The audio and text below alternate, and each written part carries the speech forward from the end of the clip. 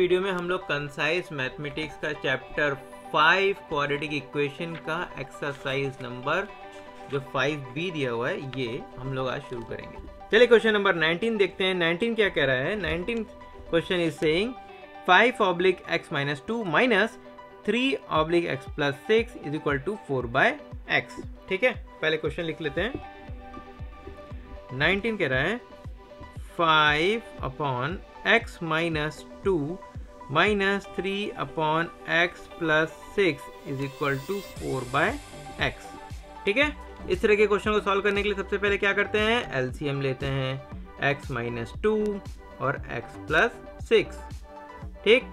तो यहाँ पे क्या हो जाएगा? Five into x plus six minus यहाँ पे जाएगा three into x minus two is equal to four by x अब इसको सॉल्व करते हैं तो this will become five x plus thirty see five x plus thirty minus three x plus six minus minus plus तो three two जा six और नीचे भी हम लोग सॉल्व करते हैं तो इस एक्स को इससे मल्टीप्लाई करेंगे देन इस x को 6 से मल्टीप्लाई करेंगे देन 2 को x से एंड देन 2 को 6 से। तो this will become x square plus six x minus two x minus twelve and that is equal to four by x ठीक है? अब ऊपर देखिए, क्या हो रहा है? Five x minus three x that will become two x और प्लस थर्टी और plus six that will become thirty six ठीक है? और नीचे क्या हो जाएगा? X square plus six x minus two x that will become plus four x minus twelve is equal to four by x बस, अभी क्रॉस मल्टीप्लाई करना है, इसको ऐसे और इसको ऐसे। तो ये क्या हो जाएगा?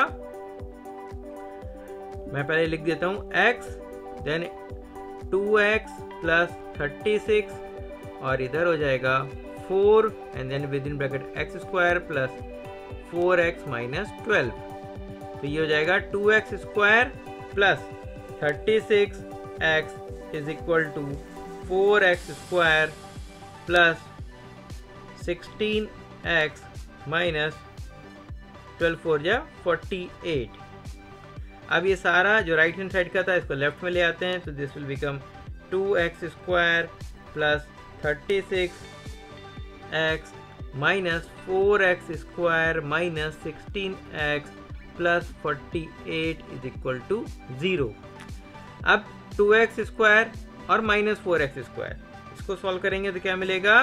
Minus two x square thirty six x और माइनस सिक्सटीन एक्स इसको सॉल्व करेंगे तो क्या मिलेगा? प्लस ट्वेंटी एक्स ठीक है? और लास्ट में 48 है। तो plus 48 is equal to zero ठीक?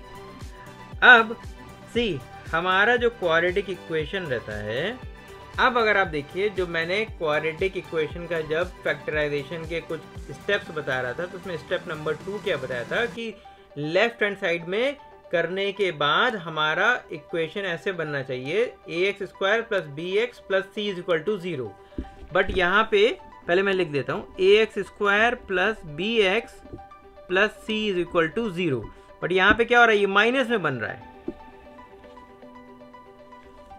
ठीक है?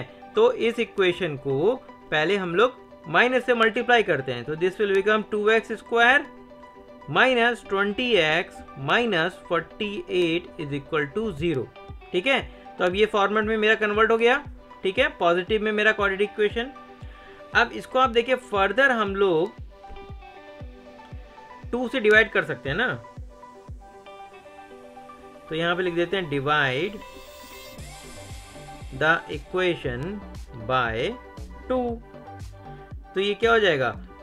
Two x square oblique two this is become x square minus ten x minus two two जा फोर टू फोर जा eight and that is equal to zero ठीक?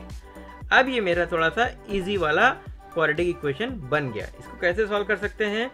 एक तो x square लिख लिया, और माइनस टेन एक्स को कैसे लिखें कि प्लस माइनस करें तो टेन आ जाए, और मल्टीप्लाई करें तो ट्वेंटी फोर हो जाए। तो उसके लिए हम लोग लिखते हैं minus twelve x plus two x minus twenty four is equal to zero तो अब देखिए minus twelve x plus two x ये हो जाता हमारा टेन एक्स माइनस में, ठीक है? चलो, अब इसके बाद हमने यहाँ पे क्या कॉमन मिल सकता है? इन दोनों में मिलेगा x तो अंदर मिलेगा x माइनस ट्वेल्व इधर भी हमने लिख दिया x माइनस ट्वेल्व और यहाँ पे हमारी वैल्यू आ जाएगी प्लस का two and that is equal to zero ठीक? तो हमारी x की वैल्यू दो आ जाएँगी। एक हो जाएगा x प्लस टू और दूसरा है x minus twelve and that is equal to zero मतलब क्या? मतलब x plus two is equal to zero means x is equal to minus two अगर हम लोग x minus twelve is equal to zero लिखते हैं तो x is equal to twelve आ जाएगा।